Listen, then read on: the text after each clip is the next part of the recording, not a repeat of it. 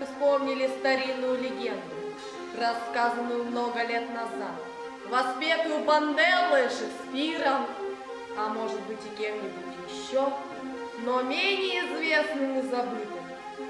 Давно замечено, у истинных легенд нет окончаний, есть лишь продолжение.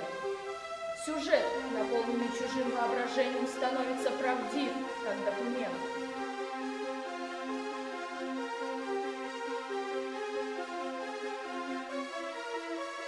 Итак, начнем, но мы начнем с конца.